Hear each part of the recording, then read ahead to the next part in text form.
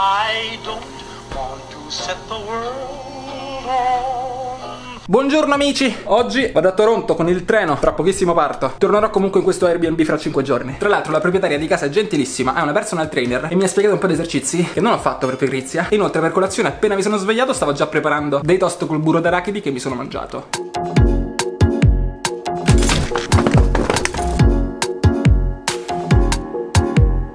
Direzione stazione centrale. Sono molto in anticipo perché il treno parte alle 11, in questo momento sono le 9 e per arrivare in stazione ci metterò mezz'ora. Probabilmente se in stazione ci sta un Tim Hortons, mi piazzerò là e farò la mia seconda colazione, merenda diciamo. Considerando che poi starò in treno dalle 11 fino alle 16.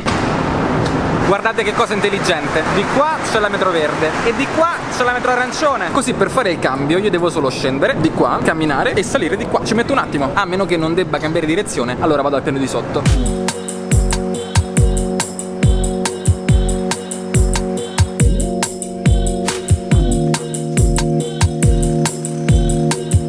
sono alla stazione centrale. Quello là, quello è il mio treno. C'è Tim Hortons. C'è molta fila, ma ho tempo.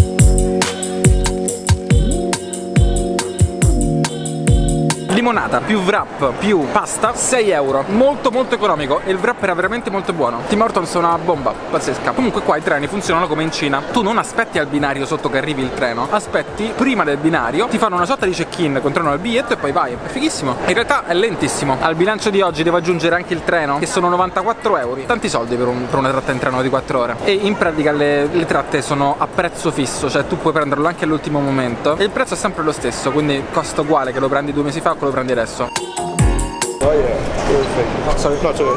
Just uh, yeah, there you go, got it. Card three. Thank you. Have a nice trip.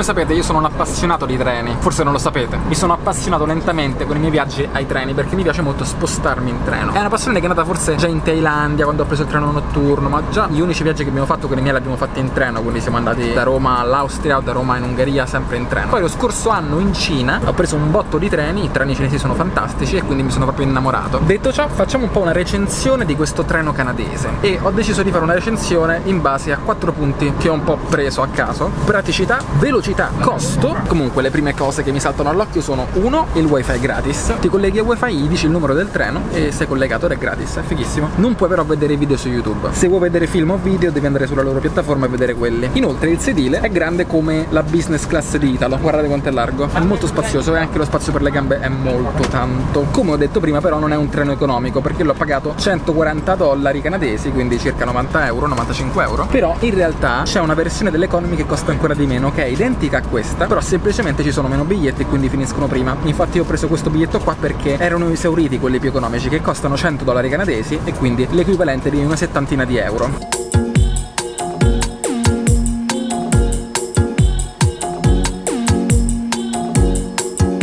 Sono passate 5 ore e sto morendo di fame e fra 5 minuti arriviamo a Toronto dove viene a prendermi il buon Davide. Uh,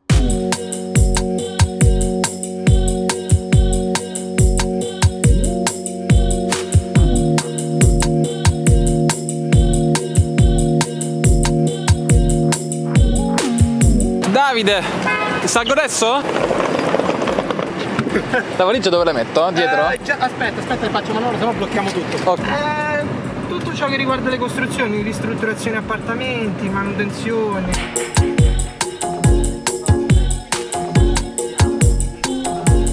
Cioè poi non sono stati tre anni consecutivi ma sono stati tre anni di andare e rivenire perché... Per via del visto? Per via del visto, esatto. Perché sono venuto un mese in vacanza per testare un po' il suolo. Poi ho detto vabbè sai che c'è, proviamola, tanto mi devo imparare anche la lingua. Io personalmente i meno 20 di Toronto li considero quasi come i meno 5 di Roma. Davide mi ospiterà nella sua dimora per, questi, per queste quattro notti e lui sta al ventesimo piano qua a downtown in centro. Infatti io ho accettato molto volentieri questo scroccaggio, principalmente non tanto per risparmiare risparmiare perché in realtà di Airbnb spendevo 140 euro. Tanto perché siamo in una posizione pazzesca. Cioè, io il mio Airbnb per risparmiare l'avevo preso molto molto lontano. E invece qua siamo nel cuore di Toronto e soprattutto stiamo al ventesimo piano. Grazie, grazie Davide. Prego. Aspettate, stanno succedendo troppe cose troppo in fretta, non sto registrando. Stiamo, mi sta portando, mi sta facendo un giro della- del palazzo e siamo al quarto piano e c'è la piscina in mezzo a questo. Io ci voglio andare. E poi invece dov'è la palestra? La palestra sta sotto, al primo piano. Sta sotto.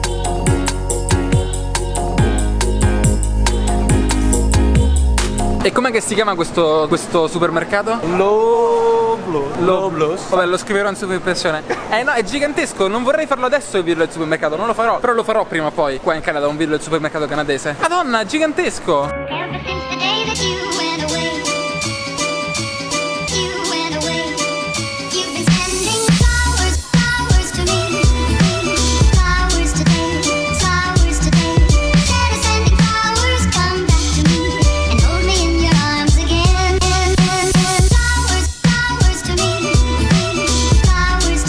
Comprato il sushi al supermercato e ho speso 19,77 euro, ma ho preso un sacco di sushi, costa molto di meno qua il sushi al supermercato. Il sapore era lo stesso. Il piano per oggi è cenare con una bella grigliata e stasera dovremmo andare a vedere un bel panorama da un bel rooftop. È un rooftop, cos'è? Sì. È un rooftop. Da, da- da là.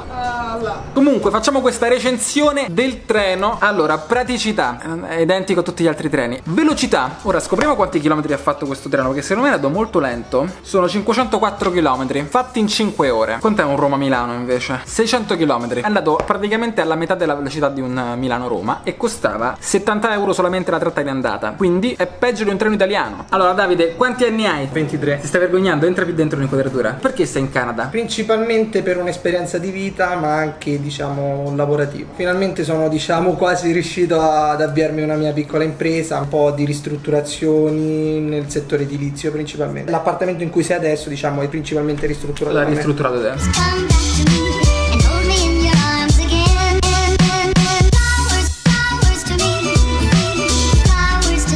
Sole sta andando giù e Davide è andato a prendere dei suoi amici che vengono oggi a mangiare la grigliata con noi. Sto ricevendo troppe informazioni, ho passato il pomeriggio a parlare un po' con Davide del- di come si vive qua, di un sacco di informazioni che vi darò tutte quante, ma faccio dei video strutturati. Hello, Hello! Emilio, this is Marcello. Marcello. Hey Marcelo, what's up? man? Emilio.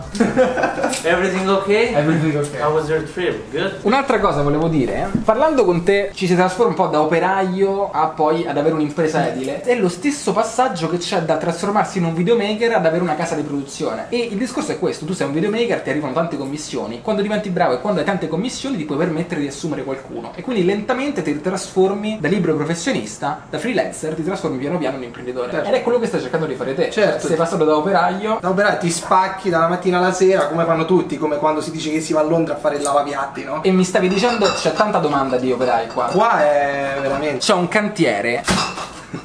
C'è un cantiere qua a Toronto ogni due blocchi, identico a Montreal. Cioè, veramente stanno costruendo, nonostante tu hai tante commissioni, è difficile trovare gente che lavora. Esatto, questa è la, la parte più difficile, che trovare gli operai qualificati e poi soprattutto la manodopera è molto, molto costosa, molto costosa. Basta fare, basta fare pubblicità a Toronto, altrimenti sembra che stiamo lavorando per l'ente. l'ente- Canada Immigration License. Esatto.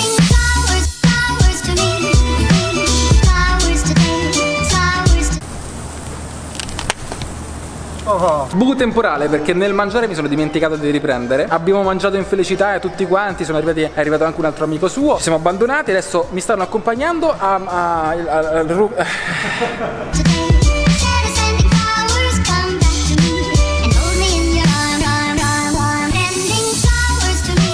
E in questo momento siamo in cima al Manu Life Center. che Yang è una tra le vie più lunghe di- del Nord America.